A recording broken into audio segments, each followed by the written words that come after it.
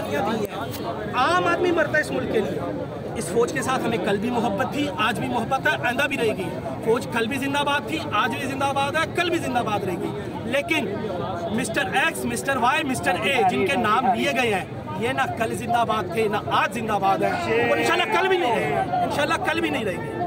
आप लोगों ने जितना करना था, सबसे पहले इंसान की इज़्ज़त होती है। वो आपने उतार के देख ली, नहीं डरे, सामने आ गए। आज़म खान सवाती जैसा मुदब्बिर और असूल वाला बंदा जिसने अपने असूलों के लिए इलाकाई सियासत छोड़ दी सेनेट में चला गया, उसने सिलेक्शन की सियासत छोड़ दी, क्योंकि हर तरह की बात सुननी पड़ती थी, वो उसे बर्दाश्त नहीं होता था। वो एक बड़ा असूल वाला आदमी था। हर रसूल वाला आदमी अवाम में नहीं चल सकता, बदबख्ती ये है, उसने छोड़ दी साथ आपने उसके कपड़े उतार दिए, यार। उसके बच्चों के सामने, उसकी पोतियों के सामने। पहले आप अल्लाह अल्लाह करके सवात और वजीरिस्तान से निकले हो, क्या चाहते हो कि मानसेरा की अवाम भी आपके खिलाफ निकल आए?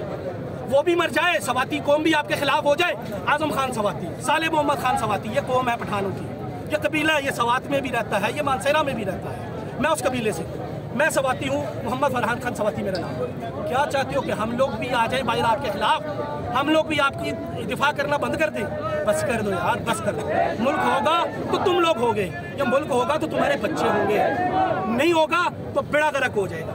जैसे आज से पहले सल्तनत उस्मानिया का हुआ जैसे आज से पहले कई ताकतों का हुआ, तुम्हारा भी हो जाएगा। इस मुल्क को बचाओ। आप लोग उनके काम के नहीं रहोगे ना, वो आपको धमकी दे देंगे। जैसे कुछ दिन पहले अमेरिका ने केस से को, सऊदी अरब के क्राउन प्रिंस को धमकी दे दी कि भाई, आप हमारी मर्ज़ी के बगैर पॉलिसियाँ नहीं चेंज कर सकते पेट्रोल की। हद होती है भाई, होश के नाखून ले लो। इससे पहले ये मुल्क तुम्हारे हाथ से चला जाए। अब रोज़ाना की बुनियाद पर कम व बेश बीस हज़ार से शायद ज़्यादा नौजवान 18 साल की उम्र से ऊपर जा रहे हैं और वो सारे, अल्हम्दुलिल्लाह 100 परसेंट ना कहें 90 परसेंट पे चले गए, एटी पे चले गए। वो इमरान खान के सपोर्टर है। अब 18 से लेकर अठहत्तर और अठहत्तर से लेकर अठानवे तक सारे सपोर्टर ये मेरे साथ खड़े हैं। ये भी इमरान खान के सपोर्टर हैं, मैं भी हूँ। ये भी है। उम्र के फ़र्क देख लो और 18 का भी यहाँ पे कोई ना कोई होगा। उम्र का, ये बच्चा देख। उम्र के फ़र्क देख लो। ये अब वो नहीं रहा। ये भाई सिंपल सी बात है, ये तामिल फ़िल्में नहीं है। वो तामिल फ़िल्मों वाले डायरेक्टरी छोड़ दो, बेवकूफ़ बनाना छोड़ दो। कोई अक्ल की पॉलिसी लाओ, जो हमें धोखा दे सके। हम धोखे में आए तो हमें पता भी चले यार शायद यही हो। हमें समझ आ रही है वो। इतने से बच्चे को जो समझ आ रही है तो फिर अपनी पॉलिसी चेंज कर लो ना। फैसल वाडा से आप प्रेस कॉन्फ्रेंस करवा लेते हो। अगले दिन खुद आ जाते हो। अपनी मर्ज़ी के सहाफ़ी बिठा लेते हो। इमरान रियाज को आने नहीं देते। और जो सहाफ़ी आपके खिलाफ आते हैं, उसे आने नहीं देते। हम तुम्हारे साथ हैं हम तुम्हारे साथ हैं चाचा बात ये मैं कहता हूँ पाकिस्तान अल्लाह के नाम पर जब अल्लाह के नाम पर किया था तो हमने ये वादा किया था कि अल्लाह के सिवा हम किसी के गुलाम अब मुझे ये बताए हमारे तीन अदारे सबसे बड़े जो। मगर मैं फौज को तो छोड़ देता हूँ जो काम कर रही है। ये अदलिया किधर है? ये खुदा से डरते हैं या अमरीका से डरते हैं या भाजपा से डरते हैं? किससे डरते हैं? और खुदा का खौफ करो आपने मरना है। ये कौम भी मर जाएगी। और छह महीने से वो शख्स कह रहा है वो सैफर का तहकीकात कराओ। तुम्हारे हाथ में कुछ तो छड़ी नहीं है वो सैफर निकाल के बाहर रखो। अब क्यों नहीं की तहकीकात कराता उसकी? डरते हो? और यार, तुम कैसे जज हो और कैसे फौजी हो? और इस तरह मुल्क के साथ जुल्म हो गया? कोई रजीम चेंज बच्चों बच्चों को पता चल गया रजीम चेंज क्या है?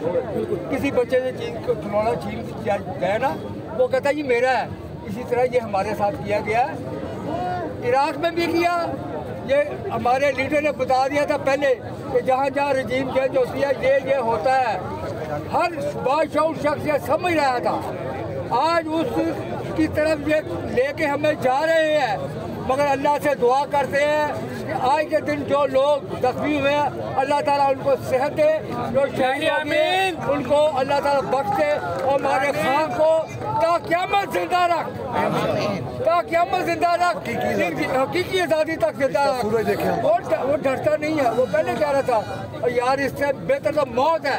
इनकी गुलामी से बेहतर तो मौत है। यार ये कितने बड़े लीडर डरते किससे हैं? इतने इतने बड़े होते लेके डरते किससे अमेरिका पाओ। खुदा का खौफ करो। ये जब ये पता उनको भी, मौत अल्लाह ने लेनी है। अमेरिका नहीं ले सकता मैं आपको एक मिसाल देता हूँ। अहमद रजा कसूरी का नाम सुना वो आप याद है? भुट्टो ने उसको मरवाने की कोशिश की।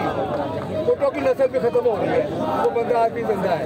उसका बाप शहीद हो गया, मगर उसने उसको कुछ नहीं हो सका। क्यों? ये मरवा नहीं सकते थे उसको। मगर क्यों? जब अल्लाह चाहेगा तो उसको मौत आनी है। वो आज तक बंदा ज़िंदा है उसने भुट्टो की मुखालफत की थी उसको क्या अजर हुआ? वो खुद मर गया चला गया दुनिया से अल्लाह तला उसको भी वो चला गया उसका मामला खुदा की तरफ़ है। मगर यही कहते हैं कि मरना है तो अच्छे तरीके से मरो। इमरान तेरे जान से।